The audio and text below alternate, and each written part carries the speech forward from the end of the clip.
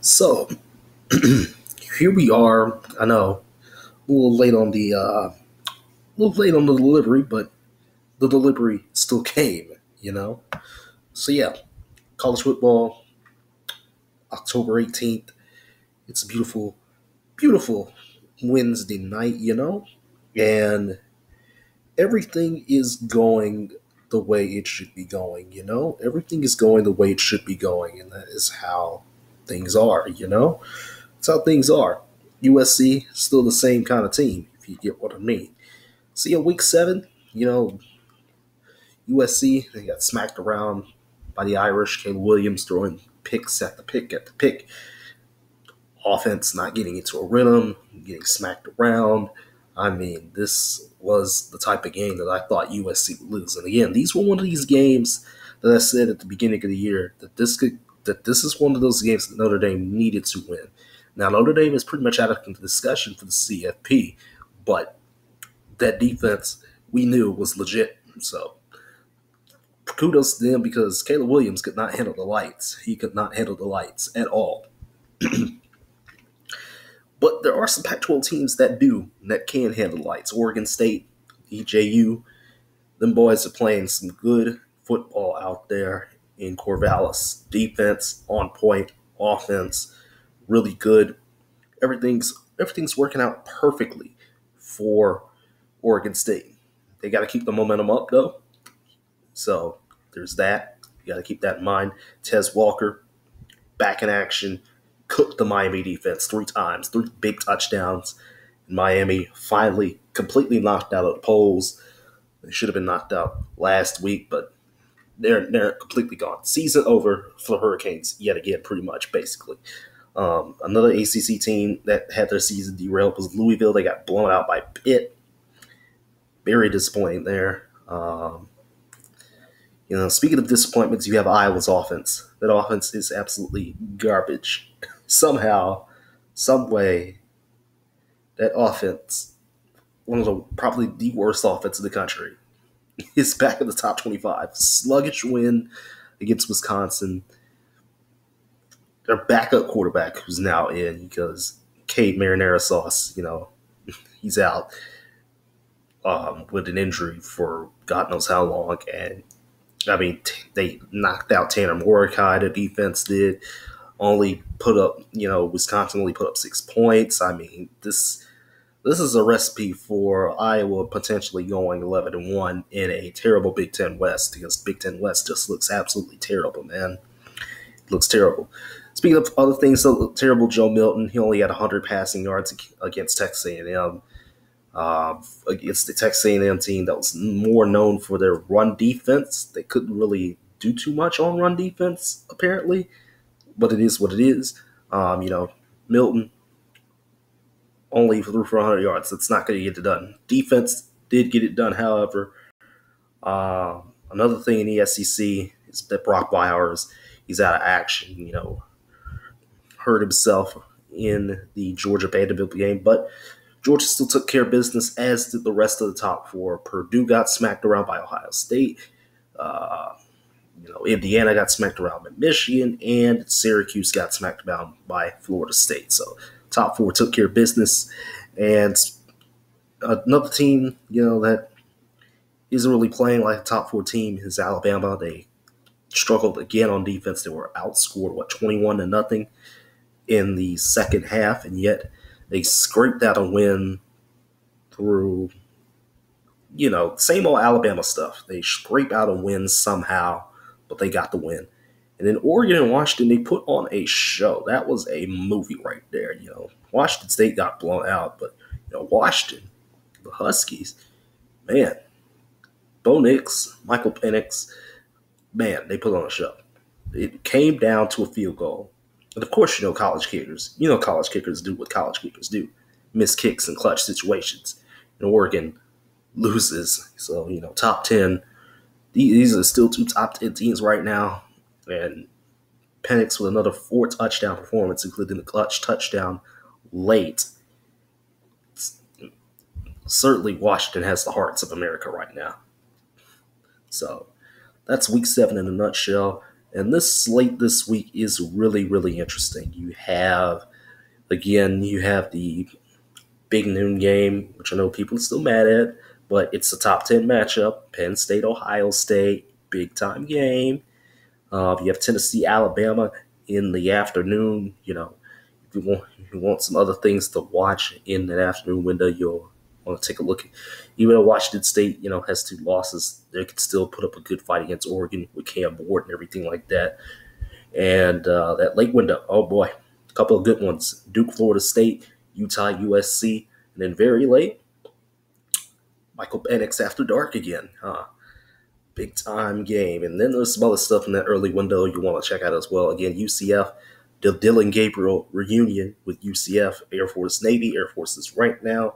Tulane's back in the rankings. Uh, Missouri got a big win against Kentucky. So, you know, there, there's there's some other games there as well that are interesting. As far as the week seven storylines go, or rather the week eight, I should say week eight. I don't know why it's I don't know why it says week seven, but forgot to edit it, I guess. Uh, yeah, big game. Ohio State, Penn State. Drew Allar, he's been doing good enough for the Penn State Nittany Lions this year. Good enough is like, you know, passing. Kind of like JJ McCarthy.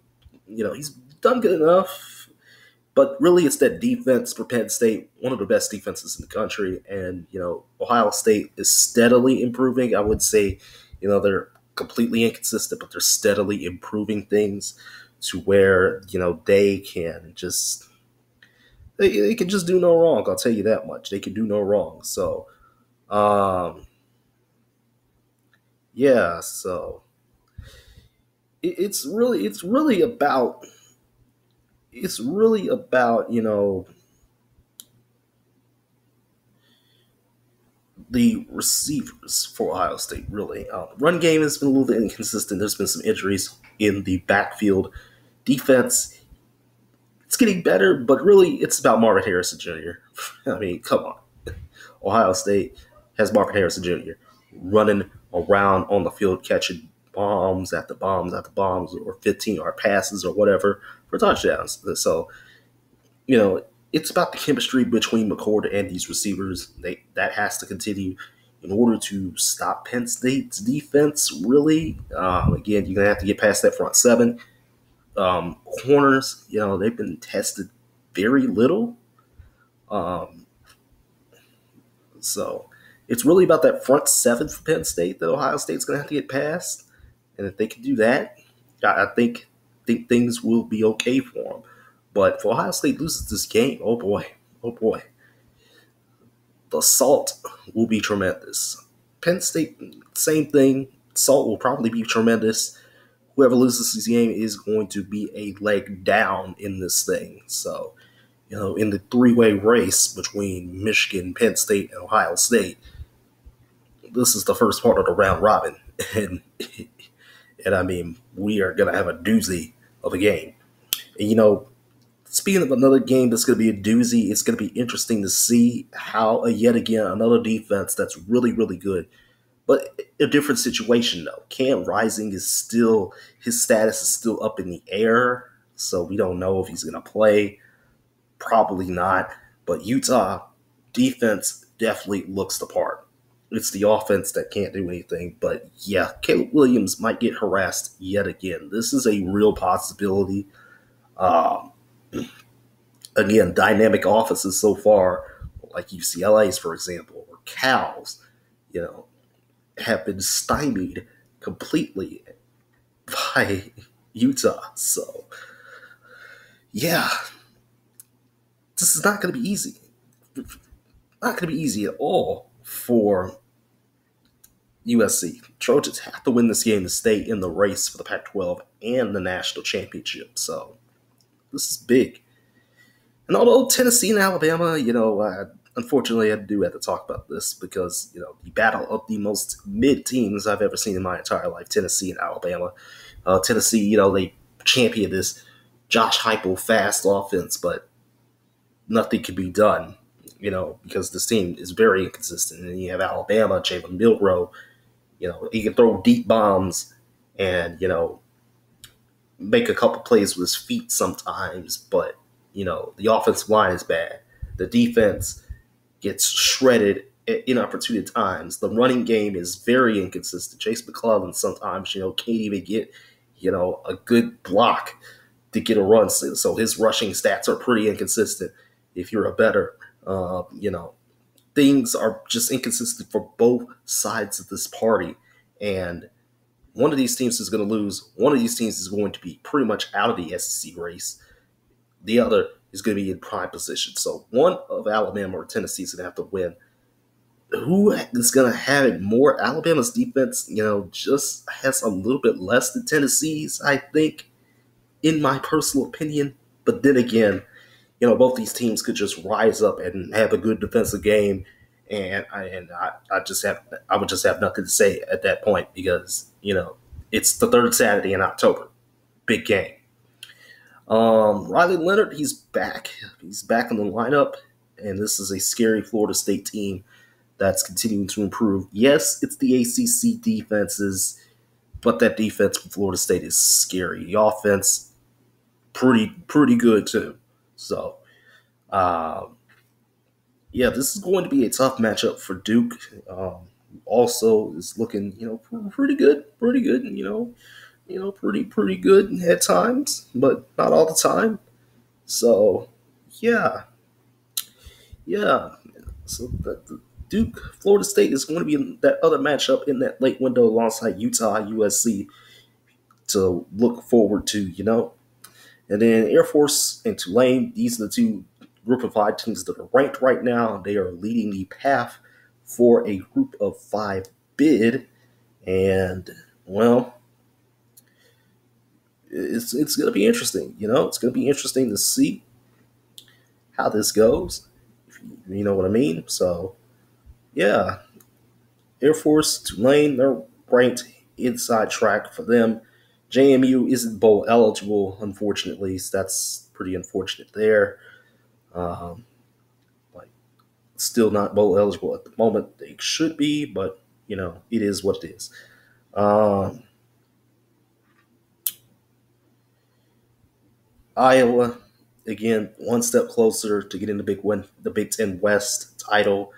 Um, go the Golden Gophers of Minnesota are coming to play Iowa in a national televised game on NBC. So NBC gets the glory of televising a Iowa game that's just. Uh, and then, you know, Washington, they cannot have a hangover against the Sun Devils. You have all the momentum in front of you. You're top five in the country don't want to lose that momentum now.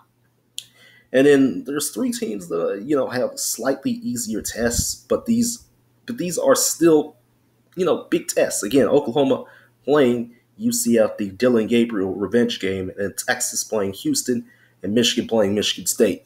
Um, yeah, so there's, there's there's some big time things going on. So things have to you know improve on one end. You know.